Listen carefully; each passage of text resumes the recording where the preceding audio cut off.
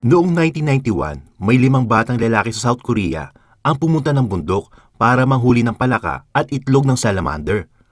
Ang hindi alam ng mga magulang nila, yun na pala ang huling beses nila makikita ang kanilang mga anak. Ang pagkawala ng limang batang ito ay pumukaw sa atensyon ng buong South Korea. Ano ang naging sanhi ng pagkawala nila? At natagpuan ba sila? Bago natin umpisa ng kwentuhan natin, kung bago ka pa lang sa channel na ito, isubscribe mo na yan at huwag mong kalimutan i-like ang video na ito para lagi kang updated sa JP Amazing Stories.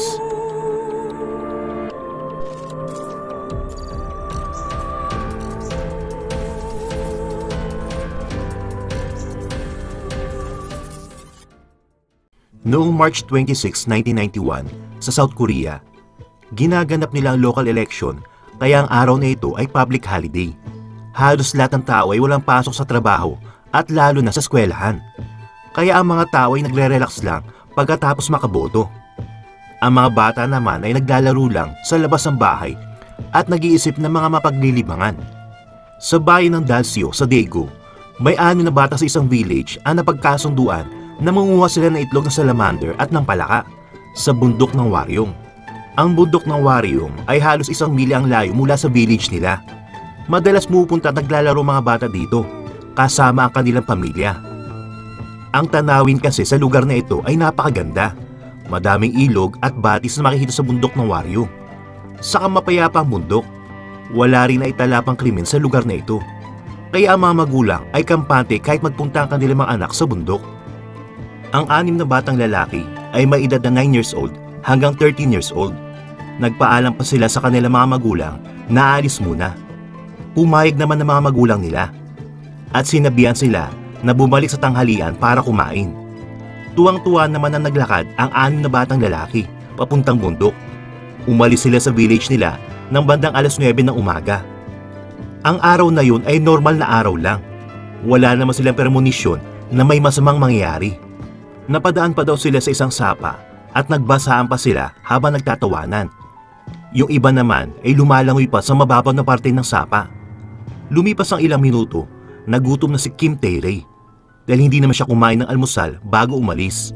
Kaya nagpaalam muna siya sa kanila na kakain muna sa bahay na mabilis lang at magkita na lang sila sa bundok kung saan sila palagi pupunta.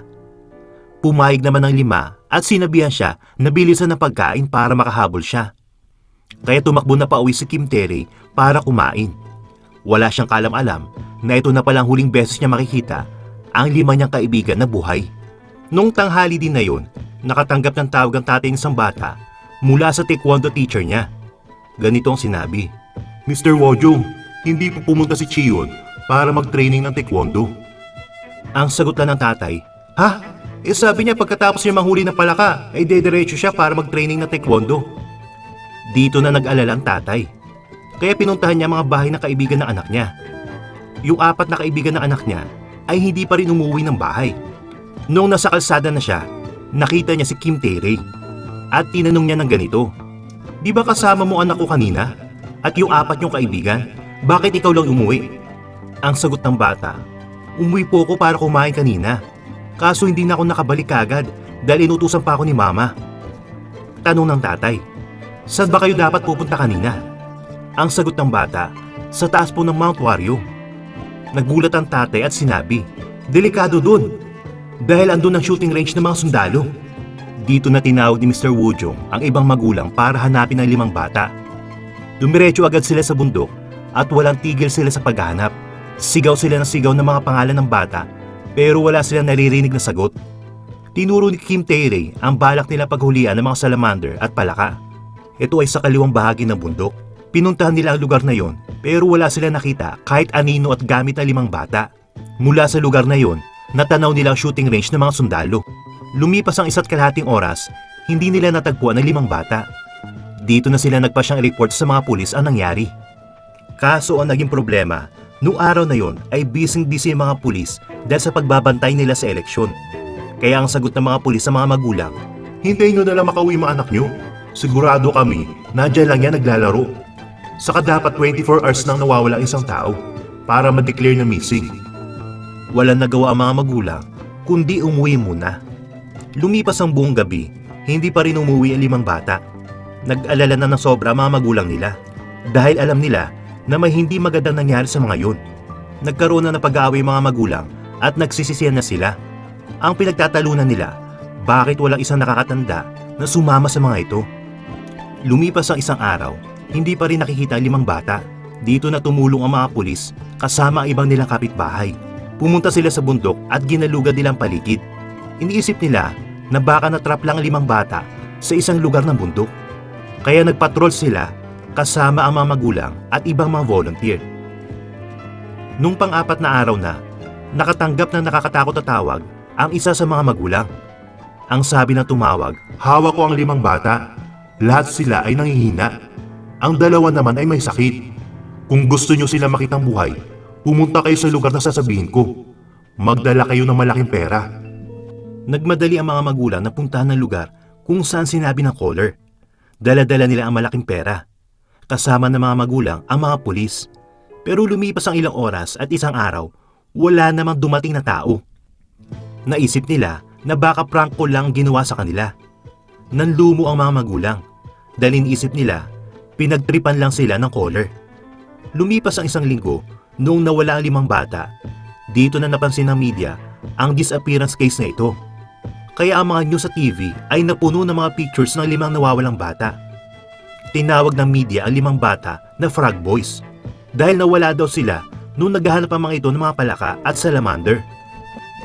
Sumikat ang missing frog boys sa buong South Korea kaya marami ang gustong tumulong sa paghahanap sa limang bata. Kaso ang investigasyon mga pulis ay biglang bumagal at hindi nasiya ng mga magulang sa ginagawa nila. Napansin kasi ng mga magulang para ba nagmamadali ang mga pulis na close agad ang case dahil pinapalabas sa mga pulis na naglayas lang ang limang bata. Kaso ang teorya ng mga pulis ay walang matibay na ebidensya. Habang tuloy-tuloy na ibinabalita sa iba't ibang TV station ng Frog Boys, parami ng parami ang mga prank callers. Na kesyo alam nila kung nasa na Frog Boys. Na kesyo ang Frog Boys daw ay kinuha ng mga masasamang espiritu at kung ano-ano pa. Maging ang Pangulo ng South Korea ay napansin na din ang case ng Frog Boys. Kaya kahit siya ay ipinag-utos niya sa 300 na pulis na tumulong na rin sa paghahanap. Nag-donate din ng ibang mga tao para mapondohan ang paghahanap sa Frog Boys. Nakatanggap na limang daang leads ang mga pulis pero lahat yun ay hindi nakatulong para mahanap ang mga bata. Karamihan sa mga yon ay mga prank calls na naman. Ilang buwan na lumipas simula nung nawala ang limang bata, hindi na talaga sila natagpuan. At wala din sila natagpuan kahit kluman lang kung bakit sila nawala. Ilang daang volunteers na rin ang tumulong pero kahit sila ay walang napala. Ang limang tatay ng limang nawawalang bata ay nagdesisyon na mag-resign sa kanilang mga trabaho para mag-focus sa paghahanap sa kanilang mga anak. Nagrenta pa sila ng truck at sa gilid nun, dinikit nila mga pictures ng kanilang mga anak kung saan saan sila napunta at namimigay ng mga pamphlets na may mga litrato ng limang bata. Umaasa sila baka may nakakita sa mga anak nila. Tinulungan sila ng chairman ng National Organization of Finding Missing Children. Ang pangalan ng chairman ay si Na Jubong. Ramdam niya ang sakit, hinagpis at pangungulila ng mga magulang sa nawawala nilang mga anak. Ang ilan sa kanila ay uminom muna ng sleeping pills para makatulog. Ang iba naman ay nagpapakalango sa alak para maibsan ng sakit na nararamdaman nila. Hanggang isang araw, may napansin si Najubong na isang lalaki sa gitna ng mga press. Hindi naman siya miyembro ng press, pero palagi siya lumilitaw pag may press conference. Lumapit ang lalaki sa kanya at inabot niya ang kanyang business card at sinabi mag-usap sila sa isang lugar katulad ng restaurant. Nalaman ni Najubong ang lalaking ito ay mula sa isang intelligence agency. Noong nasa restaurant na sila, sinabi ng lalaki posibleng dahilan bakit bigla nawala ang mga bata. Isa lang daw ang tanging paliwanag dyan at ito ay ang army. May malaki posibilidad na pumunta ang limang bata kung saan malapit ang shooting range ng mga sundalo. Maaaring may natamaan isang bata at nung lumapit ang mga sundalo, nakita nila limang bata pala ang nandoon. Maaaring nasawi ang isang bata. Ngayon, para hindi makasuhan at makulong ang mga sundalo, kaya pinaslang na rin nila ang ibang mga bata. Maaring tinago ang mga bata para mapatahimik.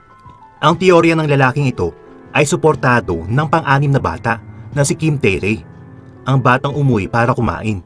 Sabi niya, nung naglalakad daw siya pauwi, may narinig siya mga putok ng baril at may mga sigawan. Hindi naman niya pinansin yun dahil iniisip niya galing daw ang ingay sa military base.